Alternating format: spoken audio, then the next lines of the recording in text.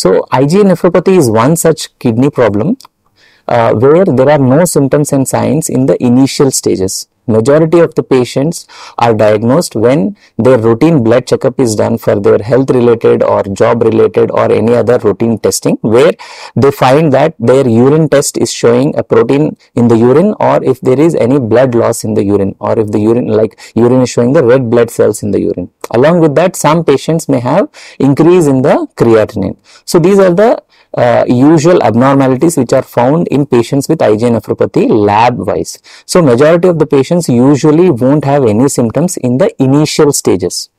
But if patient develops a symptom, the common symptoms are the first one is the cola colored urine. Cola colored urine is like the urine like a Coca-Cola color.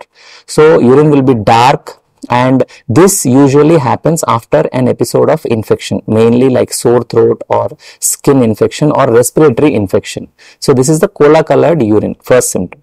The second symptom is sometimes patient can have blood in the urine like dark dark red color or uh, reddish tinge in the urine can be seen in few patients.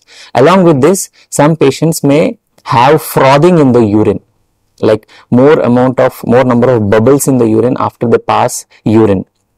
And along with this few patients can have swelling of the feet or some patients can have back pain also. Along with that uh, there may be symptoms of decreased urine output weakness or tiredness. So these are the symptoms of IgA nephropathy if they present